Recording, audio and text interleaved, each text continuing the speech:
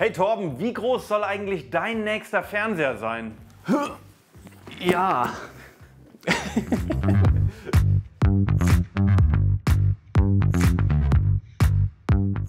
Hallo, hier ist Fitus von hifi.de. Und Torben, danke, dass du mir heute hilfst. Du musst mir auch irgendwo helfen, weil ich glaube, alleine würde ich das niemals hinbekommen, so einen riesen Fernseher auszupacken. Vielleicht, damit man sich das besser vorstellen kann, 98 Zoll, das sind über zweieinhalb Meter Bildschirmdiagonale, 2,6 Quadratmeter Bildschirmfläche. Das heißt, für gut 2000 Euro, 2,6 Quadratmeter, ist eigentlich günstiger als jede Wohnung hier in Köln. Und das ist ja nicht nur irgendein Fernseher, sondern der hat auch ordentlich was im Gepäck, oder? Korrekt, alle HDR-Formate, 144 Hertz Gaming und Google TV.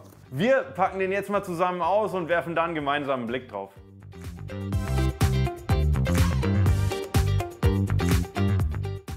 Ja, das ist jetzt hier kein Greenscreen hinter uns, Fitus. Nee, sondern wirklich alles hinter uns ist vom Fernseher gefüllt. Aber so wenn ich das jetzt so sehe, auch auf dem Monitor, ich könnte so auch arbeiten. Also ich kann verstehen, warum die Hollywood Studios mittlerweile quasi auf so eine Art und Weise ihre Filme produzieren. Darum wird es natürlich bei unserem Test nicht wirklich gehen. Nein. Sondern einerseits natürlich, was der Fernseher grundsätzlich kann. Aber ich glaube, so ein Fernseher der Größe, der steht auch noch vor ein paar anderen Herausforderungen, oder? Auf jeden Fall. Also ich denke mal, HDR wird wahrscheinlich so ein paar Schwierigkeiten machen, obwohl er alle Formate unterstützt.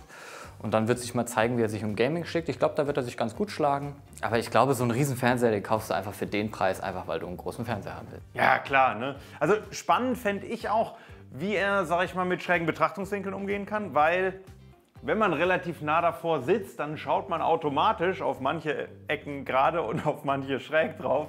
Ähm, und was man hier jetzt schon so ein bisschen erkennen kann, es ist natürlich kein High-End-Gerät. Das heißt, man sieht hier unsere Studiobeleuchtung sich im Fernseher spiegeln.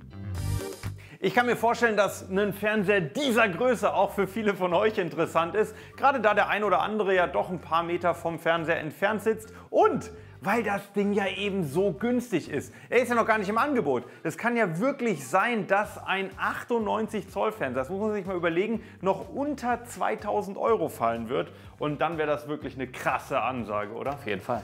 Deswegen würde ich sagen, Torben, du darfst das Ding jetzt mal messen, testen und dafür räume ich mal das Videostudio hier, weil ich glaube, sonst passt er auch nirgendwo rein. Nee. Und ähm, ich denke, ihr seid auch gespannt drauf, deswegen nächsten Tagen kommt bestimmt unser Testbericht für den TCL 98 Zoll Fernseher.